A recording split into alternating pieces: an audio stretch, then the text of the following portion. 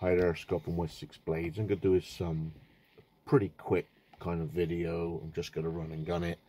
Um, this is regarding the incoming and what was done with the zombie knife law uh, from sort of July and is coming big up with the in September. Sorry. Anyway, now you hopefully will remember that when the consultation went through, I was imploring everybody in order to um, put on there the high-end, high-value, handmade blades would be retained and there would be defences about it. And I've tried to get in contact with a few people, uh, like the new, um, what is was the old Chris Philp, which is the uh, crime policing and fire guy.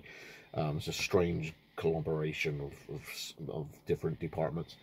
Um, and obviously I was going through uh, Jacob Rees-Mogg. Now we've got a new Liberal uh, MP in. I haven't got a response from her yet. Um, and so I'm reaching out again to the new version of Chris Philp, is a lady called Diana Johnson, I think it is, um, who is the crime, fire and policing. Because what we're after is the admission, the recognition in any way uh, for handmade um, and high end. Now, if you remember, I used this knife as an example. Now, this actually gets through on exemption for another little thing, which is very interesting, and that is sections of serrations along with a plain edge if the serration near the handle is less than two inches.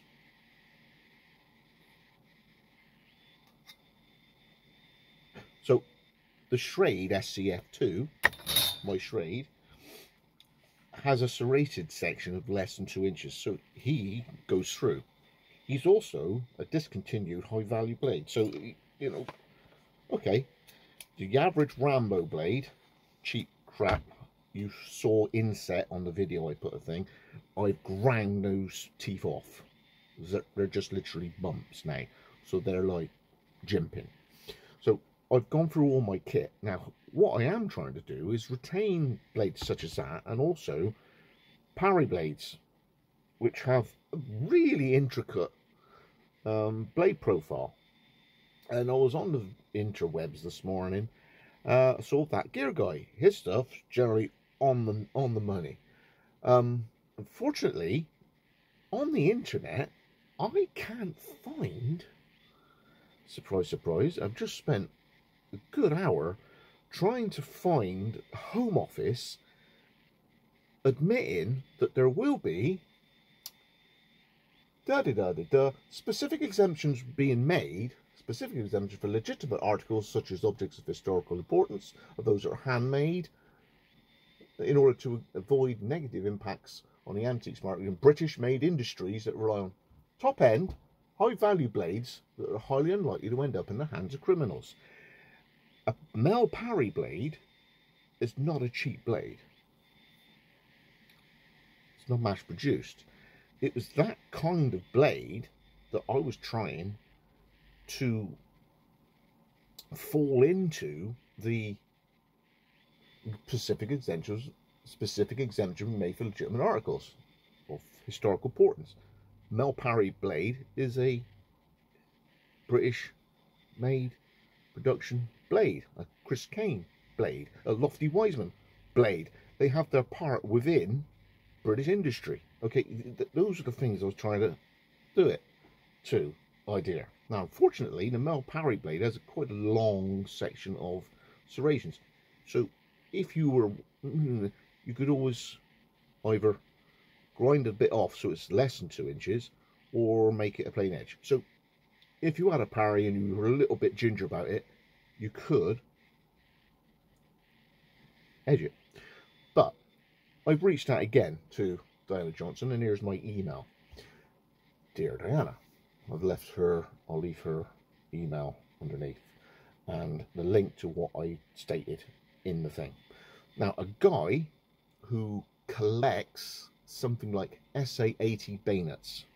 They're an ugly looking thing, but it's of historical military importance and legitimacy. So, he sent a letter August of last year to Chris Philp to try and say, hello, hello, could you make sure that these get on the system? Like, you know, that these are recognised, that have some form of legitimacy and are, can be retained and they've got some defence within it. So the letter one.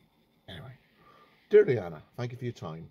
Having been repeatedly instrumental in previous knives and weapons legislation and consultations, I'm reaching out for clarifications that as stated by the previous government, there will be allowances due to, quote, considered responses from individuals, manufacturers, retailers and trade organisations that rely on bladed items. Specific exemptions will be made for legitimate articles such as objects such as, but not limited to, such as, okay, not limited to, such as objects of historical importance and, and those that are handmade in order to avoid negative impacts on the antiques market, market and British made industries. British made is the Chris Kane stuff, unless it's made of Scorpion, right? Chris Kane, um, stuff that are made by the stuff in Birmingham and Sheffield and all that. British made industries, Al Parry, Lofty Wiseman, right? That rely on top end, high value blades that are highly unlikely to end up in the hands of criminals. They're expensive. Basically, so unquote, this is now me speaking again. Basically, many suppliers, manufacturers, sole traders, bladesmiths, some now doing weapons for film in Hollywood. I hear Raven are, are doing something for some TV or film or something. Are making high-end work which should be exempt from the morass of cheap, poor material-based zombie knives and cheap machetes, which only serve to intimidate with very little practical function. The cheap, fat, stingless zombie. We don't mind losing that. So, I fear I'm finding only the most basic descriptions anywhere online. I couldn't find this stuff and in the media, leaving many of us in severe doubt that the respect for high-end, high-value, collectible, traditional, military, etc., etc., will be retained, and as such, these valuable items will be stricken from their owners. Unless you wish to dismiss months of work from our community trying to work with Chris Philp MP, as yet I am unaware of you reaching out to us. Please could you clarify and direct me to the relevant sections within the new law as I am as yet unable to find the rele relevant original sections as per the Home Office and Minister for Crime, Police and Fire, the Right Honourable Chris MP, published 30th of August 2023. Regarding these items, clearly stated these points, and here is a colleague's letter from last year. So, I've given a link to this guy that was in a, um, a bayonet uh, collecting group forum, whatever, um, and he's looking for clarifications. Like, yeah, yeah, you, you all right? Because what I don't want is for them to just go, and it's just over eight inches restoration plate, it's got holes in it, and everything gets lost. You know, I know I'm going to keep this by the look of it because the serrated section is less than two inches. Mm, really a serrated section anyway. But what we don't want is to be run roughshod over once again.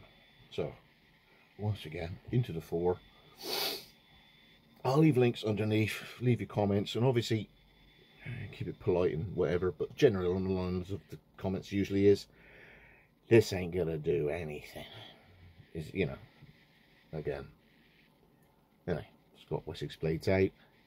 Trying to get some response from government again. Good fun, out. Thanks, Wessex blades out. See you on the next one.